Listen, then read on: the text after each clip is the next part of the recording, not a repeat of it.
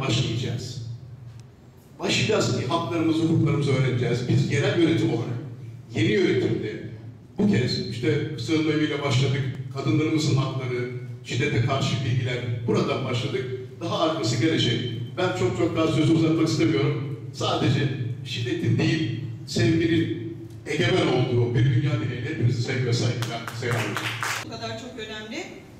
Ee, Türkiye'de yapılan bir araştırma sadece 2016 yılına ait şu andaki veriler kimlere ne kadar da artmıştır.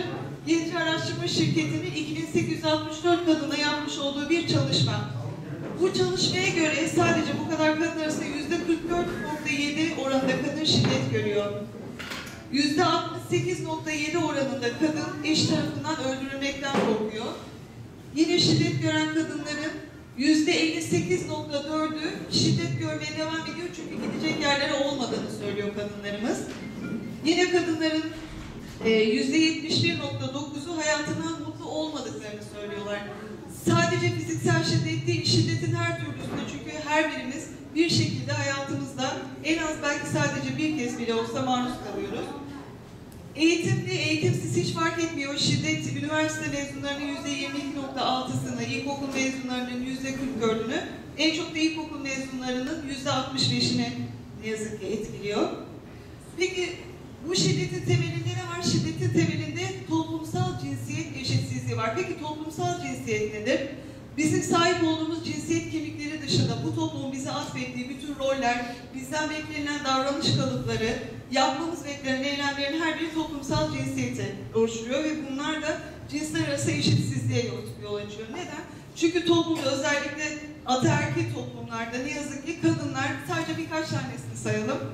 Narin, yumuşak, güçsüz, dış görünüşü önemli, korkak ve edilgen olarak adlandırılırken erkekler kaba, sert, güçlü, kendi düşünen, cesur, girişken olarak adlandırılıyorlar. Yani bizim doğuştan getirdiğimiz kimliklerimiz, cinsiyet kimliklerimiz ne olursa olsun ne yazık ki biz bu toplumun bizden önce belirlemiş olduğu rollerin, toplumsal cinsiyet rollerinin içine doğuyoruz ve bunlar daha aileden itibaren öğrenilerek ne yazık ki şiddete neden oluyor.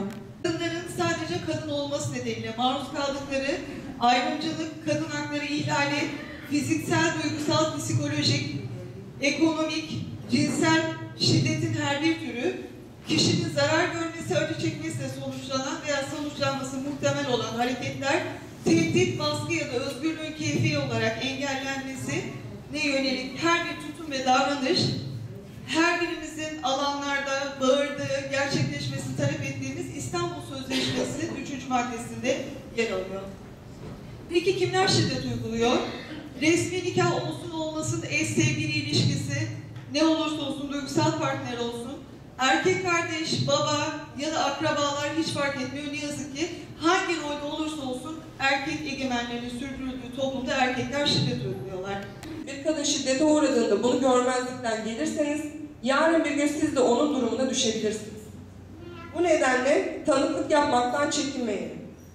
Şiddete uğrayan bir kişinin yanı sıra diğer kişiler, aynı evde oturan bir kişi, kardeşi, çocuğu, akrabası ya da şiddeti gören, duyan, tanık olan herhangi bir kişi, komşusu olabilir, bir öğretmen, bir doktor, bir avukat, herkes şikayet ve ihbarda bulunabilir. Bunu belgelendirmeliyiz. Bu durum yargılama aşamasında çok önemli bir e, delil teşkil ediyor. E, şiddete uğradıysak e, hemen bir sağlık raporu almalıyız.